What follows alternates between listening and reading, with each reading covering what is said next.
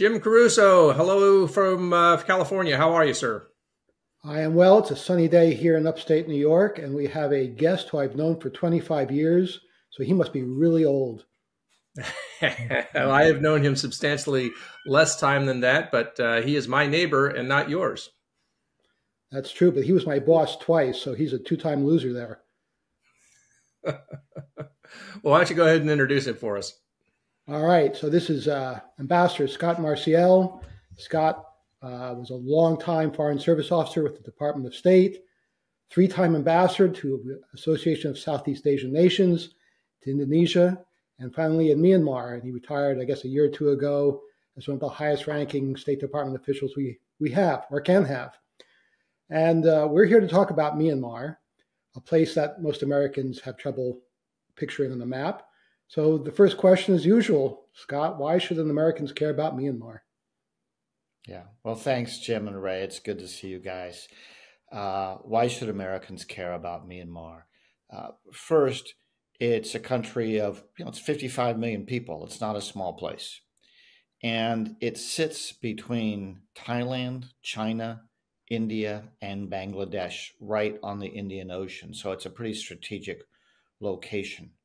Um, there's some interesting history between the United States and, and Myanmar. It was known as Burma for a long time, uh, going back to U.S. missionaries uh, in the 19th and early 20th century. So you have a lot of Baptists in Myanmar who are feel very closely connected to the American Baptist community, and U.S. soldiers fought alongside uh, Myanmar soldiers in World War II against Japan. It was a major battlefield.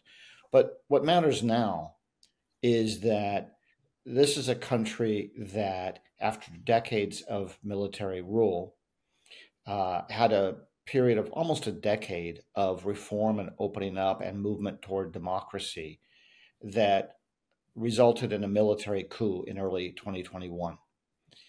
And what's striking about it is nearly the entire population rose up against that coup more than three years ago and initially with peaceful protests, but when they were basically gunned down, uh, began fighting uh, armed resistance against the military because everybody wants the military out of power. They, the military is despised. And that resistance has gained a lot of ground in the last uh, three years. So, for the United States, what matters? One is it's a humanitarian and human rights disaster on a massive scale.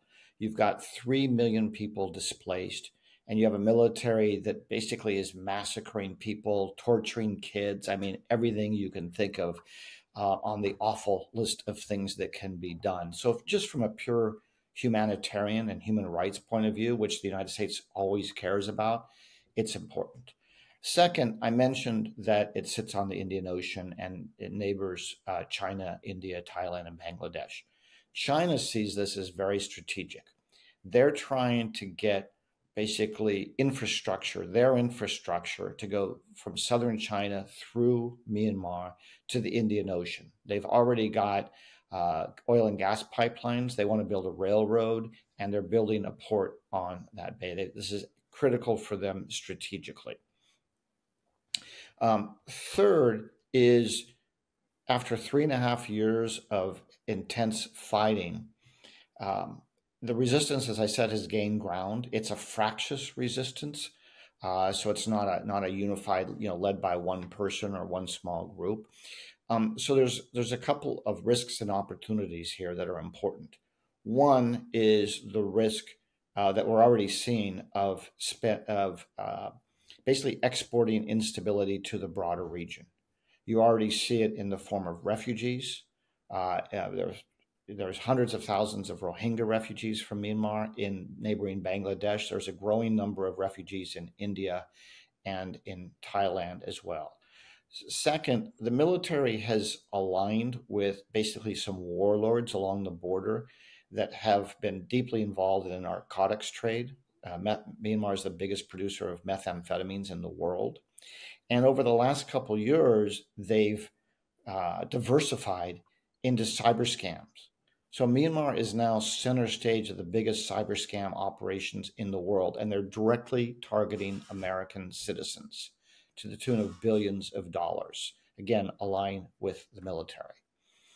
Another risk is this place could fall apart. It could just fracture along ethnic lines a la Yugoslavia uh, 30 years ago, which, you know, based on experiences elsewhere, could lead to you know massive disaster that again affects the whole region.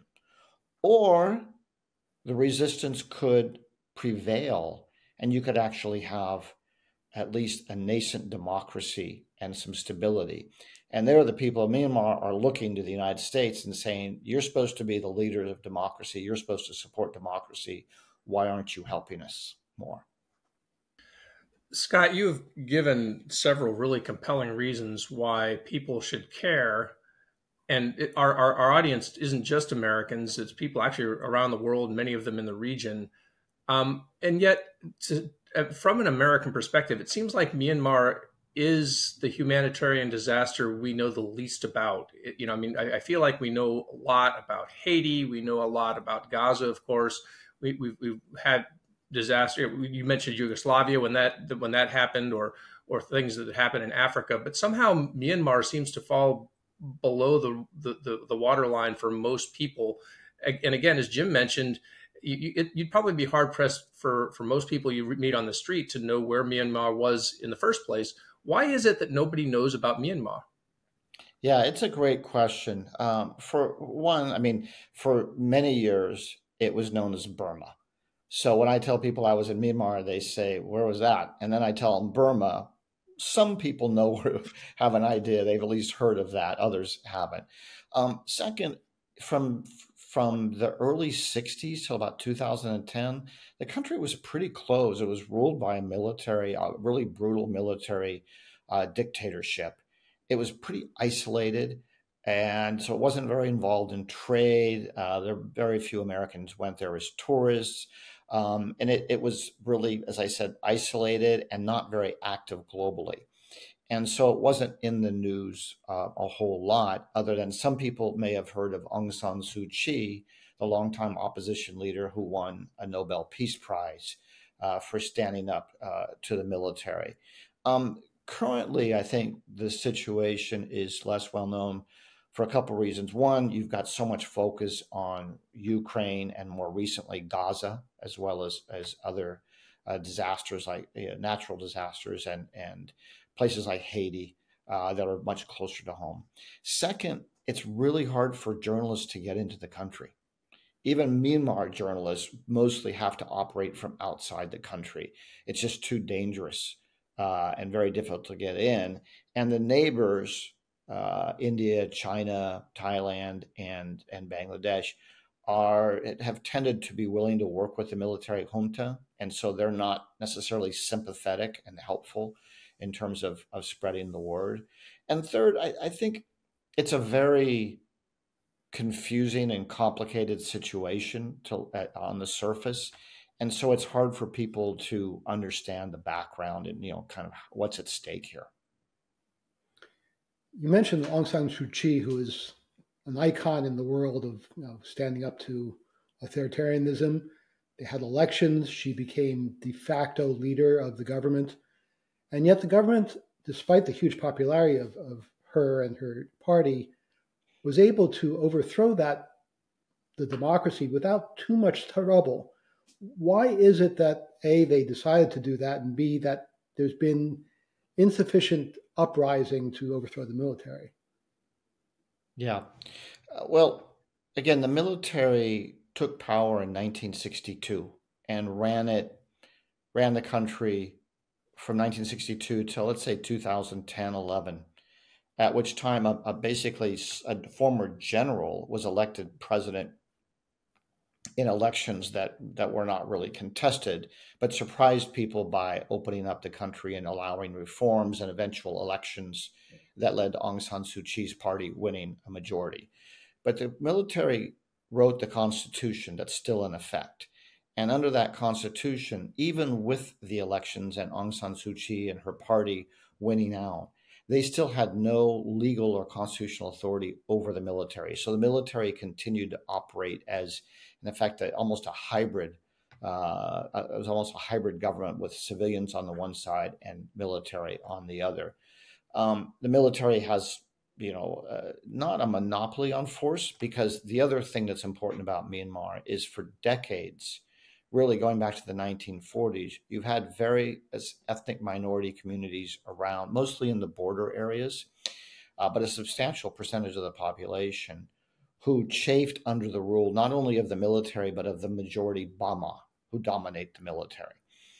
And so many of them have engaged in insurgencies seeking either independence or autonomy for decades. So you had established militaries in those uh, among those ethnic armed groups that have been fighting military for for quite some time. After the coup, the uh, the people all over the country went out immediately in massive protests all over the country. Uh, but you know they were unarmed, and the government and the military began shooting them.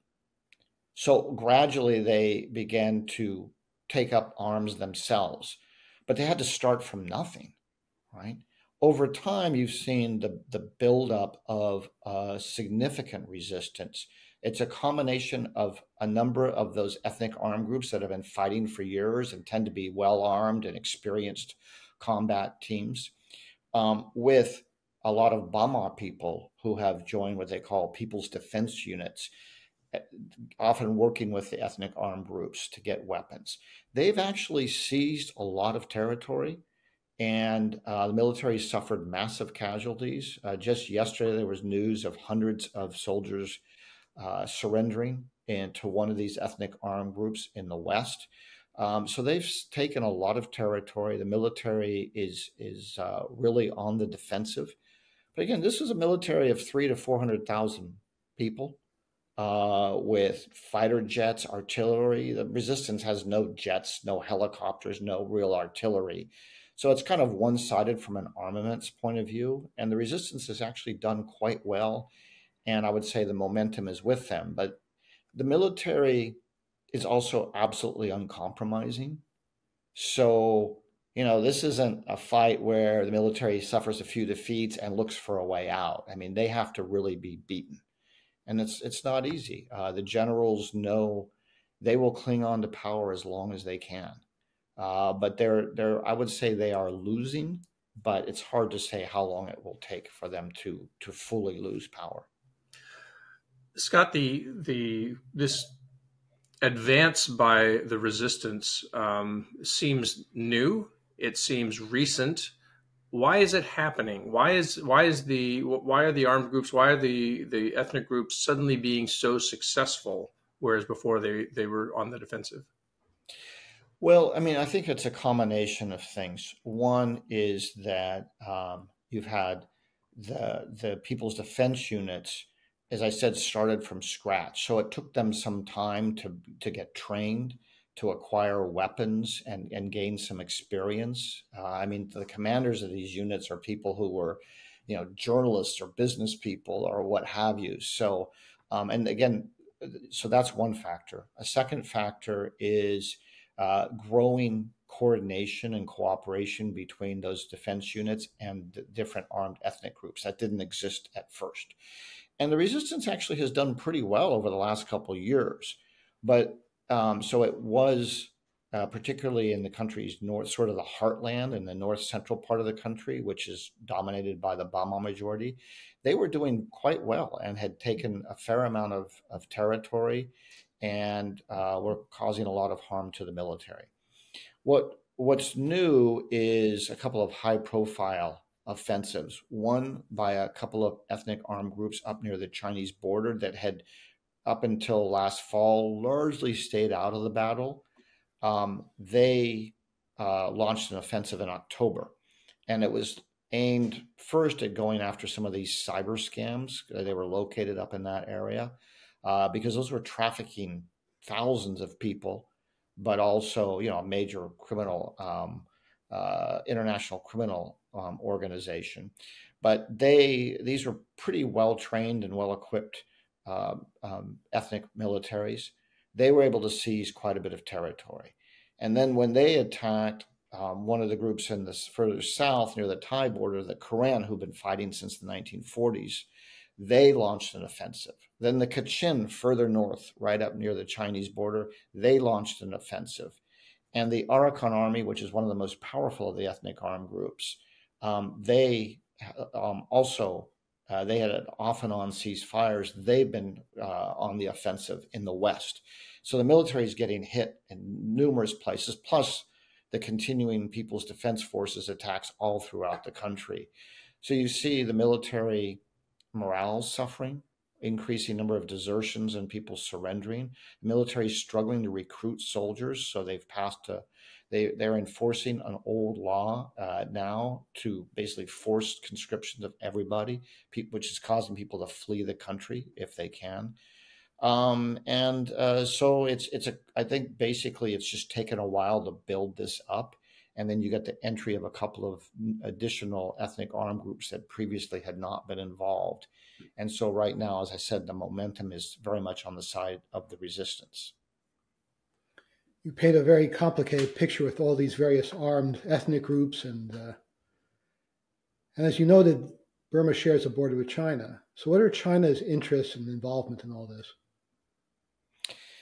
It's a good question. Um, China's been very pragmatic, so they had backed the military dictatorship for all those years. Uh, well, not all those years, but certainly in the 1990s and 2000s. Then, when uh, the country began to reform and had elections with Aung San Suu Kyi's party winning, uh, the Chinese moved pretty, uh, I'd say, uh, pretty effectively to build good relations with that government. So their their approach has been to deal with whoever's in power. That's meant the junta uh, since the coup three years ago. I don't think they necessarily love the generals. In fact, I think they probably don't at all, and I think the feeling is mutual. Um, but again, it's just a pragmatic approach. So uh, China's interests are, as, as far as I can tell, one strategic, getting that access to the Indian Ocean uh, the railroad, the port built, all of these sorts of things. That's probably primarily number one. Two, related to that, they don't necessarily want a really strong, unified country because that would weaken their influence. But they want, they need a, a, a reasonable level of stability because with the current very chaotic situation, it's hard for them to move on the infrastructure and, and other projects. Plus, some of the problems like the crime are spilling over China's borders.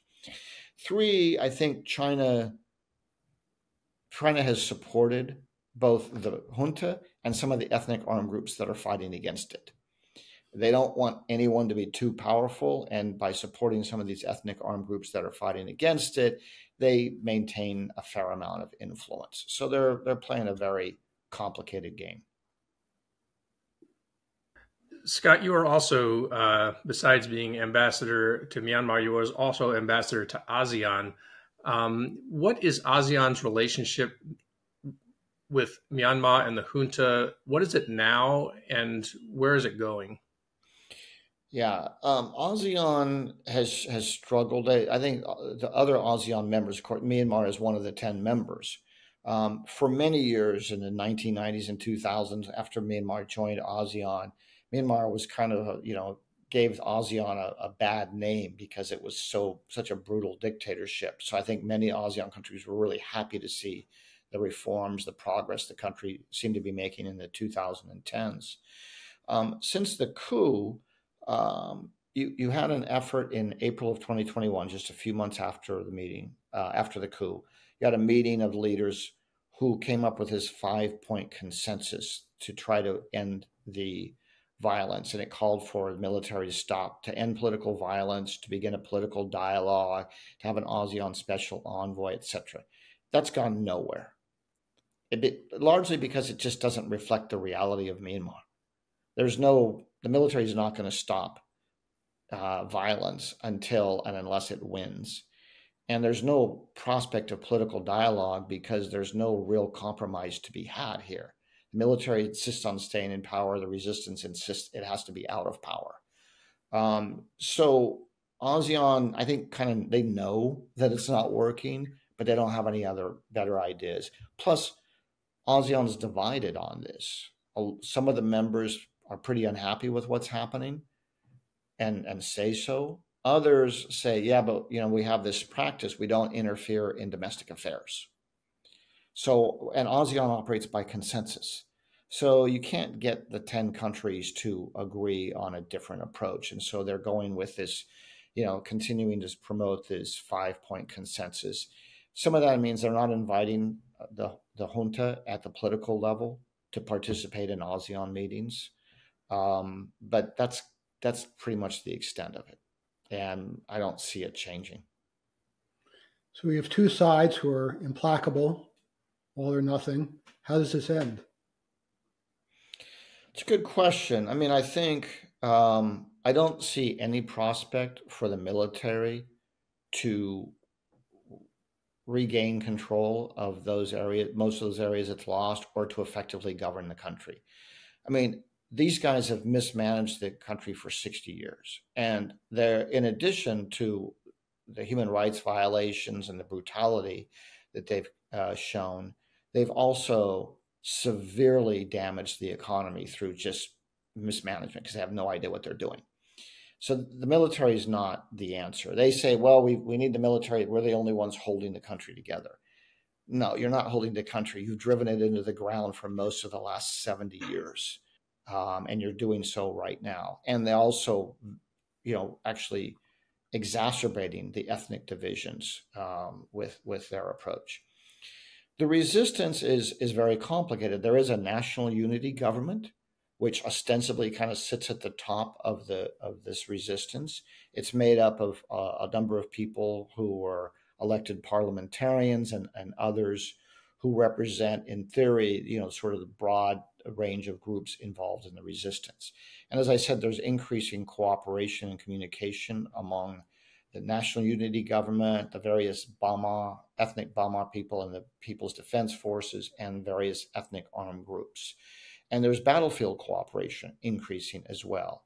There's, but but it's still you can't say it's you know fully united. Uh, what they've said is that they they hope to their goal is to achieve a federal democracy. They know that that the only way for Myanmar to succeed as a country, as a one united country, is to give a fair amount of autonomy um, at the local or or state level. So I think the best hope for the country is certainly for the resistance to win. And when I say win, it doesn't necessarily have to be full battlefield defeat of the military it would need to be uh, what I would see is more likely is the military continues to weaken and lose ground to the point that some of the colonels and generals say we need to find a way out and are willing to make major political concessions. At that point, it might be possible to have some kind of dialogue and a negotiated outcome. Um, and then, you know, then then the resistance and forces and everybody else in Myanmar is going to have to try to figure out how to put in a, you know, create a new system, a new federal system. It's going to be messy. Under the best of circumstances, it's going to be messy and, uh, you know, probably two steps forward and one step back. But that's the best hope for the country. And, and I think it's, it's one that the international community should be supporting, understanding it may not work but it's really the only viable option out there.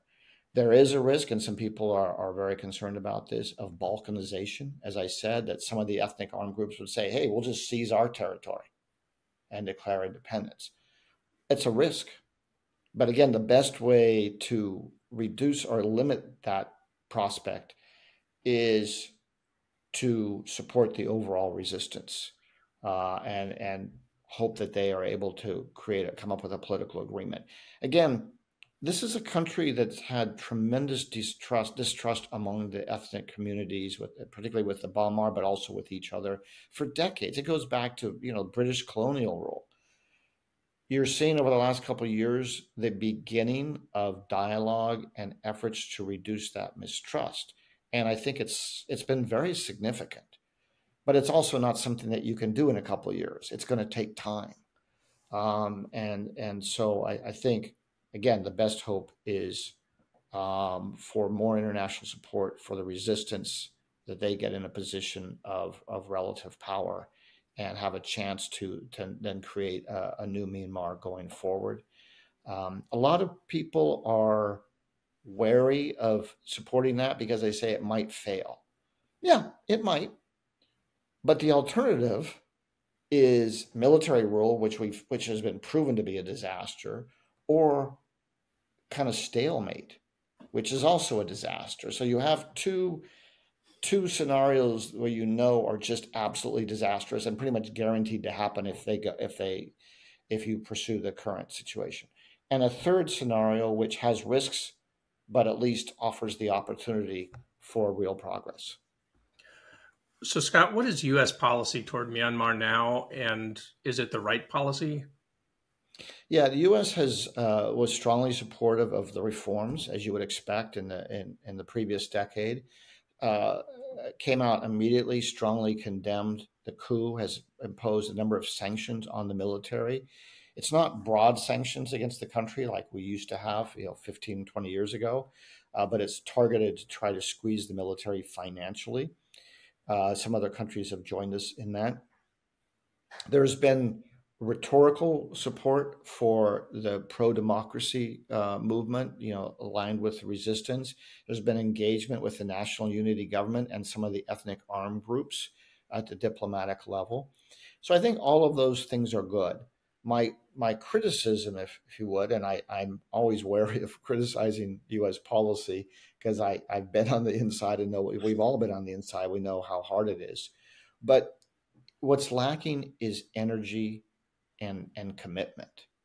It's you know understandably given everything that's going on in the world, it's just not getting enough attention or effort. And so I think we're on the right. The, the approach is right, but lacks, as I said, a, a modest amount of resources. I'm not talking about you know billions and billions of dollars or anything. A modest amount of assistance to the resistance. Um, you know, non-lethal, I would say, to start with, uh, financial assistance, uh, and and a greater diplomatic effort. Uh, it's been kind of a, a, I would say, a very modest and underwhelming effort to date. So the UN Secretary General has named a special envoy to Myanmar, uh, former Australian Foreign Minister Julie Bishop. So, you want to give her some free advice? Yeah, I actually I actually published a piece in the Diplomat a couple of weeks ago um, on this. Um, there's been a series of special UN special envoys on Myanmar going back 25 years or more. Uh, they've all failed, um, not because they were inept uh, envoys, but because mostly because the military is so difficult. Um, so I think a number of other people um, have uh, statesmen and women have gone to Naypyidaw, the capital of Myanmar, met with the generals to try to push them one way or the other, that's a waste of time. Absolute waste of time. You get no all, all they'll they'll take the photo op, post it on all over the news uh, to confer legitimacy on themselves and do nothing.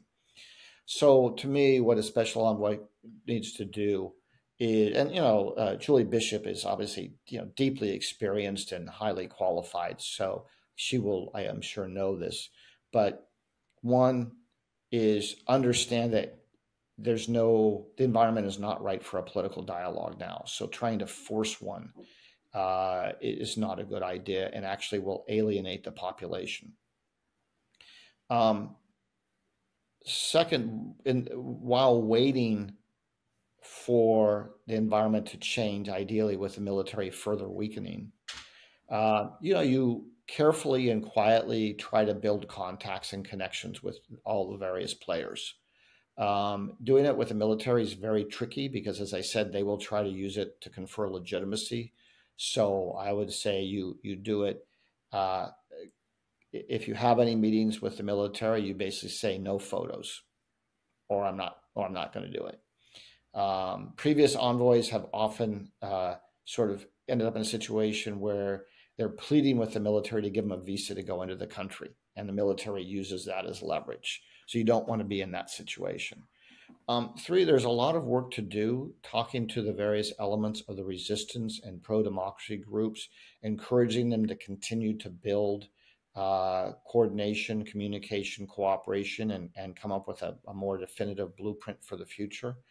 But also working in the region, particularly with Thailand and ASEAN and others, on getting greater humanitarian access because the humanitarian needs are huge.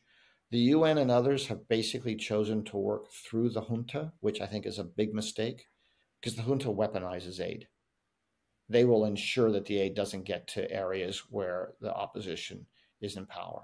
So I think there's a lot that that uh, Julie Bishop potentially could do, working first with the Thai, but with others, uh, to try to open up some additional humanitarian channels while kind of continuing to assess the situation and and if and when the time is right uh, can play a, a, a helpful role in trying to encourage uh, uh, the dialogue. But again, it's now is not the time for that. So Scot, I'm going to ask, I guess, what will serve as our exit question. Which uh, just to, you were you were ambassador there before the coup. Uh, what was that like? How was it different from other places that you've served? Well, you know, it was, it was interesting in so many ways. It's a fascinating place. I mean, it's culturally incredibly rich. The diversity is is amazing, and um, it, it, so it, it's really interesting in that.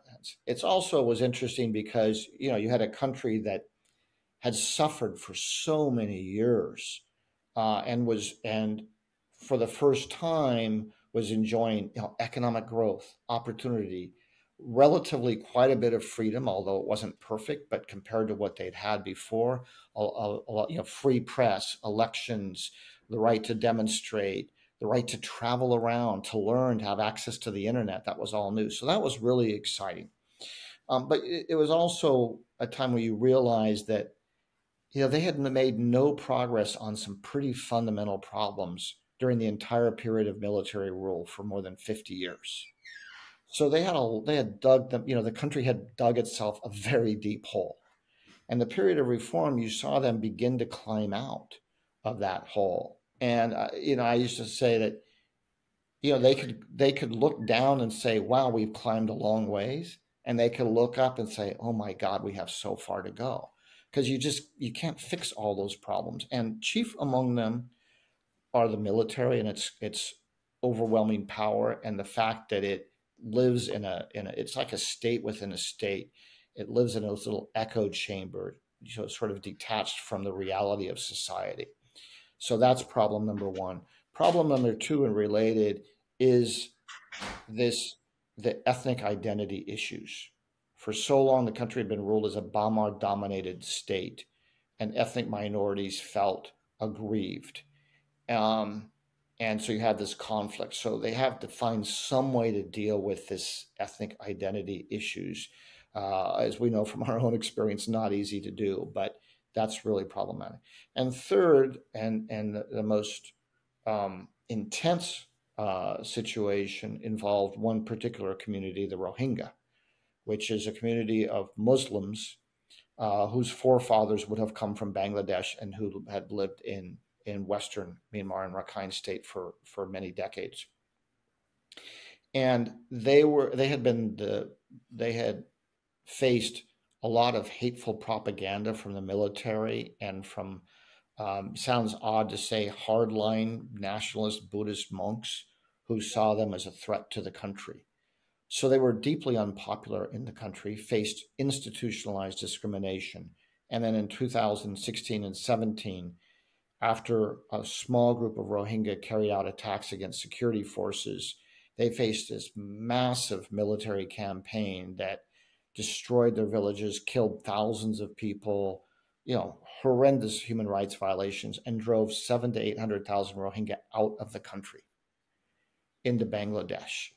So that period, 2017, 18, 19, 20, all the positives that you saw happening in the country were, at least from a US perspective, all but overwhelmed by this horrific disaster, man made disaster, and, and, um, hatefulness toward this community. There were other problems too. There was still conflict going on with other ethnic groups and, and what have you. But So I guess the short answer to your question, it was a roller coaster of emotions, fa- intellectually fascinating, and you know, you would on the one hand, on, on in one day meet people who were just espousing the most hateful racism toward the Rohingya, and maybe two hours later meeting some young people who were courageously dedicating their lives to trying to build something in their community.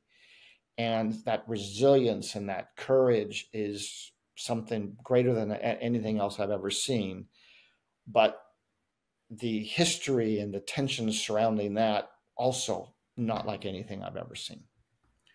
Well, Scot Marciel is a uh, career diplomat with a ton of experience in Southeast Asia, has been an ambassador there three times, and is the author of a recent and very important book on Southeast Asia. So, just to close us out, Scot, why don't you tell us a little bit about the book and where people can continue to follow your work? Well, thanks, Ray. Thanks for the for the plug for the book. Uh, the book is called "Imperfect Partners: The United States and Southeast Asia." Uh, easiest to get it on Amazon.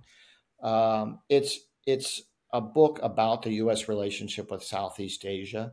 It's based in part on my own experiences, so I concentrate on on countries like Philippines, Thailand, Vietnam, uh, Indonesia, Myanmar, also ASEAN, where I either served or spent a lot of time. And it looks at a little bit of the history of those countries, but mostly at the relationship with the United States during the Cold War, post Cold War, and then at the end offers um, some some recommendations for U.S. policy. So it's not a memoir; it's more of a foreign policy analysis with a lot of anecdotes um, from my own experience. Well, Scot, it's been uh, just wonderful to to to talk to you. Uh, hope to see you around campus pretty soon. Uh, I, I, try to get out there and get get a cup of coffee from time to time. So let's make sure we do that. Sounds good. Appreciate it, Ray. Jim, good Thank to see you, you as always. Likewise, Scot.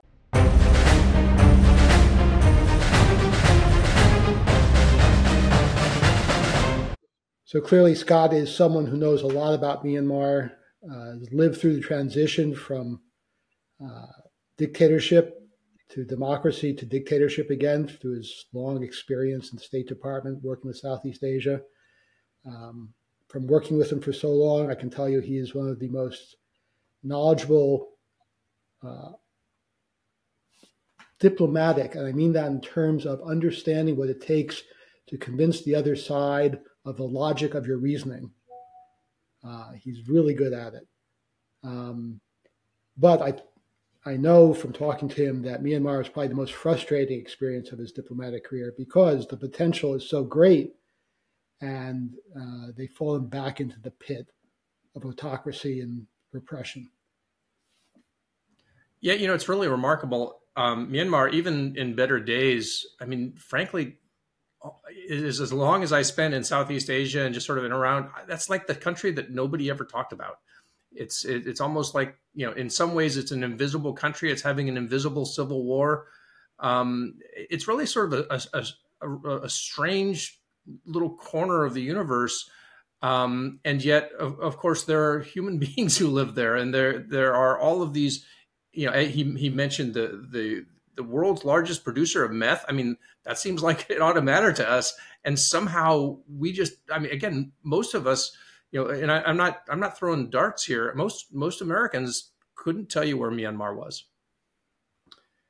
Yeah, well, as Scot said, for so long it was a closed off society. People didn't go there. Uh, then they had the flowering Aung San Suu Kyi and democracy, and people paid attention to her battle and her as a figure for democracy worldwide. And then the Rohingya disaster unfolded, and hundreds of thousands of refugees fled from Aung San Suu Kyi and her regime. So I think it, this may be in the category of this place is too hard and confusing and far away. Yeah, I um. So I mean, I, I, this is one of those really tough ones, I, I think, Jim, because you know, it's going to be hard to convince uh, your sort of your average person on the street that they, they should, you know, take a segment of their of their of their thinking and and devote it toward this place. Um, and yet, you know, you know, geopolitically, it's actually really significant. It's you know, uh, in terms of U.S. interests. If we're talking about the, the the the drug problem in the United States, it's you know if we're talking about th- this whole idea of of cyber scams and all of the rest of these things, and just the potential to export instability into a really important region of the world. You know, I, at least hopefully, you know, some some people will take away from this that yeah, actually, we should care about this country and we should want a, a good outcome and maybe you know devote a little more of our attention toward it. Well, the next guest will also put a human face on the suffering over there.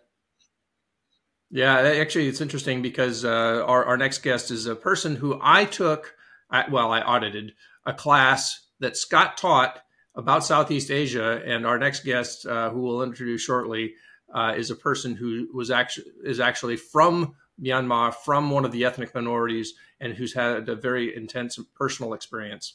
So, Jim, uh, that's it's been a really good discussion today, um, and uh, we'll we'll wrap up uh, we'll wrap up with with our guest in a in a moment. But uh, it's been great seeing you.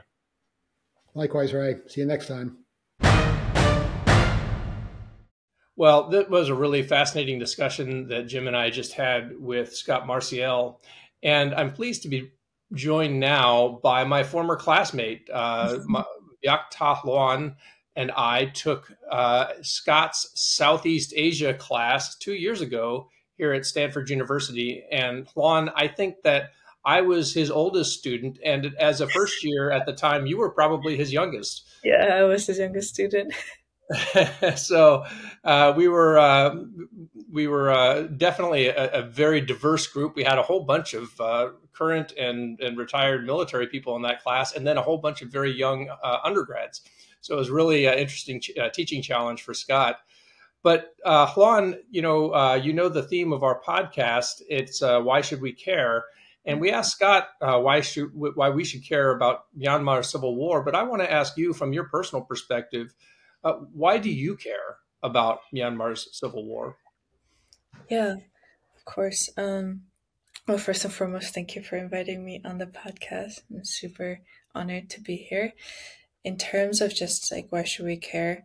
Um, I think standard everybody sees human rights issues and violations to be something cared for, but I think when you come from the perspective of someone belonging from that group, I think there's a sense of um, there's a tremendous passion that comes with it, and I say that because I am Chin, which is one of the hundreds of ethnic groups in Myanmar, and it's like northwestern almost within Myanmar. So I belong to the Chin ethnic group, and I was born and raised in a village called Thantlang, Thantlang Chin State, and so I think just having had that upbringing of belonging to one of the ethnic groups in which we have experienced many, many, many, many years of oppression has just like led to this like overweight and carry of what it means. It's like really just part of my identity for me. I mean, I obviously wouldn't be here as a refugee in the States if it weren't for the Civil War. Um, and so my identity as a human being and as a Chin person is deeply tied to the atrocities that are ongoing in Myanmar today. So that's just like a little snippet, like an overview of to me why that matters. Um, and yeah. And and and Hlawn, I I know from our interaction uh, that you mm-hmm. your family has heard, uh, experienced very uh, significant personal loss. Tell me a little bit about that. Yeah, and so I'm sure like um, everyone, or hopefully people are aware of the February 1st military coup in 2021.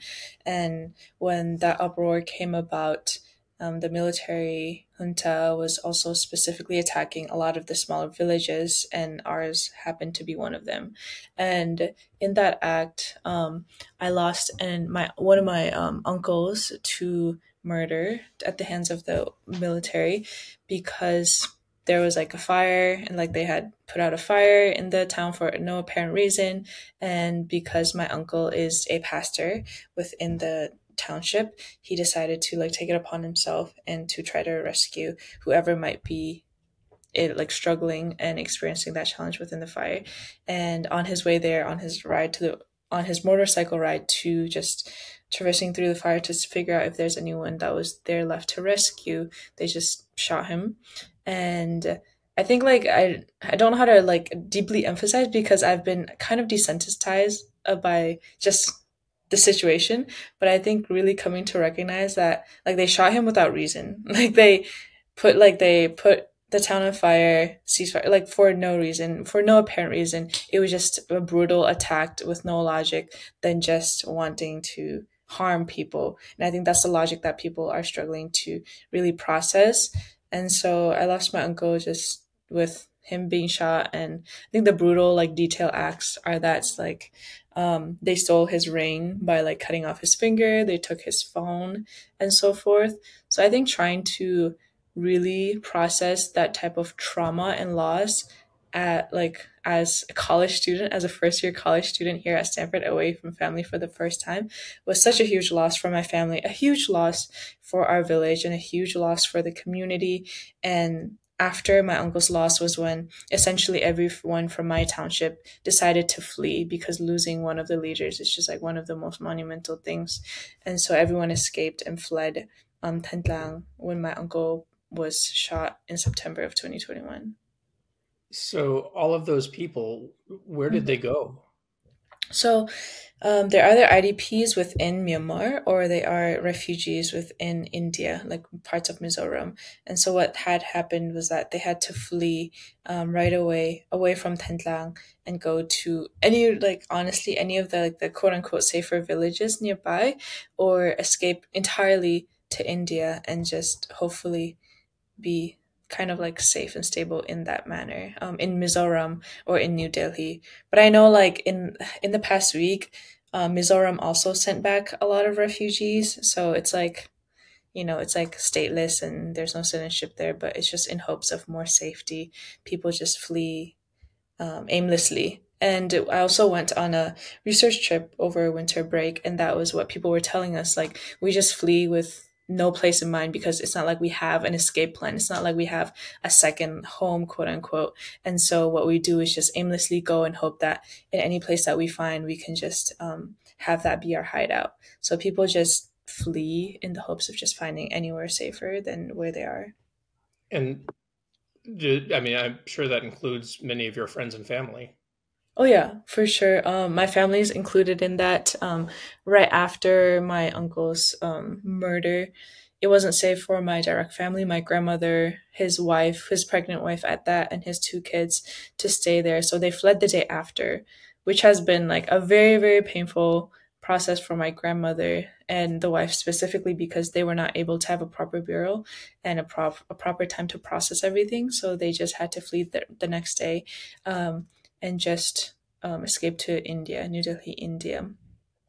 And so it's just, and they've just been there um, since. And so that's where my family is. And it's hard to like kind of, I don't know if rescue is the right word, but to kind of have them go anywhere else because, of course, like it's not safe back in Myanmar, but in India, it's not like they are granted citizenship or whatsoever. And so it's like a limbo. Well, I mean, obviously, Hlawn, you have uh, managed to escape yourself and, and, and do quite well. You, you're in one of America's elite universities. What have you been able to do since then to um, to, to, mm-hmm. to help and to uh, to represent your people in here in America? Mm.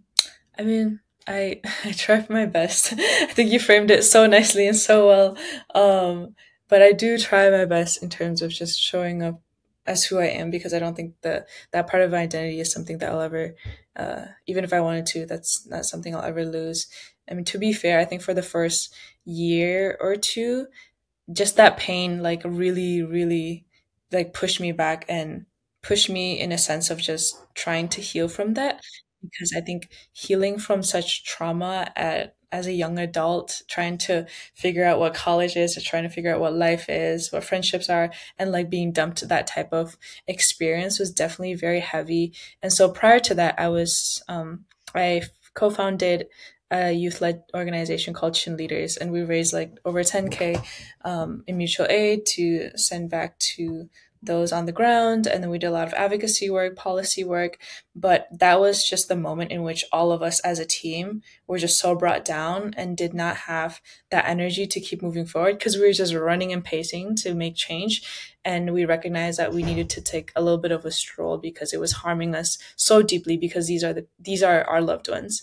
And so I think for a year or so, I really took a step back trying to be strategic about my advocacy work. And then now I'm jumping onto it much more passionately.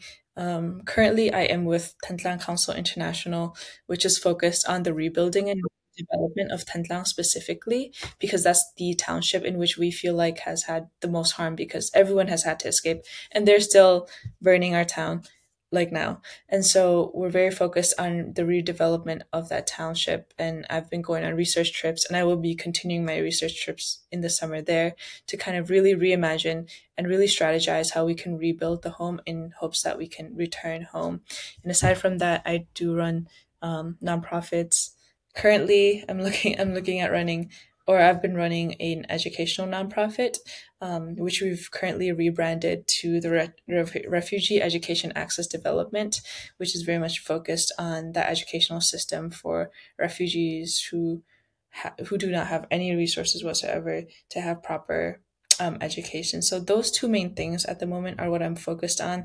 There are a lot of random side hustles and side quests and involvements that I do, but in this moment, that's what I've been focused on. And of course, Stanford Myanmar Student Association at Stanford is something that I founded, and I'm very proud to um, hold a community and a space for here at Stanford.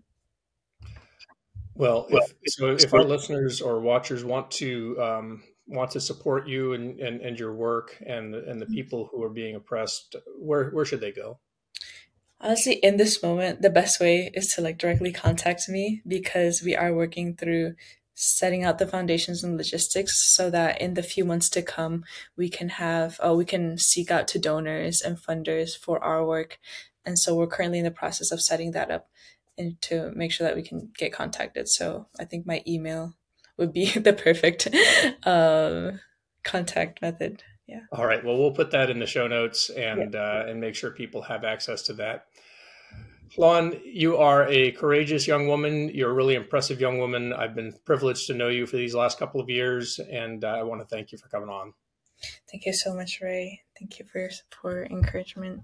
And thank you once more for joining us to learn why we should care about Myanmar's civil war. If you're interested in supporting Hlawn and her work, you can contact her at B Hlawn, which is B H L A W N at stanford.edu.